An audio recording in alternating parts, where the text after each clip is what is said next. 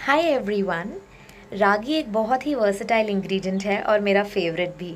इससे काफ़ी सारी रेसिपीज़ बनाती हूँ मैं और आज एक रेसिपी आप लोगों के साथ शेयर कर रही हूँ, रागी डेट्स लड्डू। ये बहुत ही सिंपल है और नरिशिंग मिड मील है। इसे बनाने के लिए हम एक कढ़ाई में आधा कप अनमेल्टेड घी ऐड करेंगे।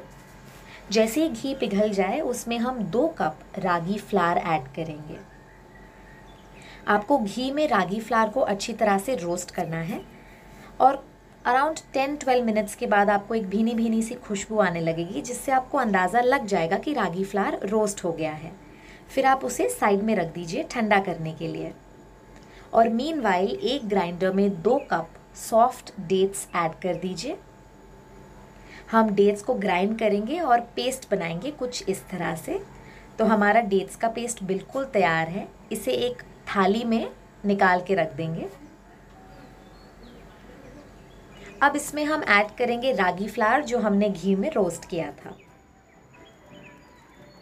अगर आपको इस रेसिपी की शेल्फ लाइफ बढ़ानी है तो आप डेट पेस्ट को भी घी में अलग से रोस्ट कर सकते हैं विद अबाउट वन और two teaspoon ghee.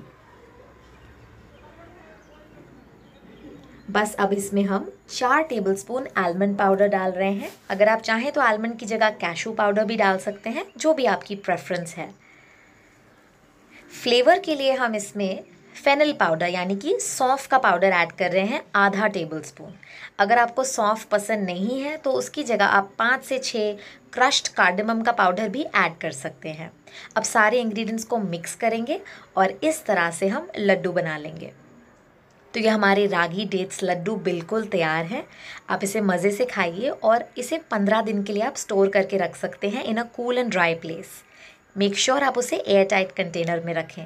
Thank you so much for watching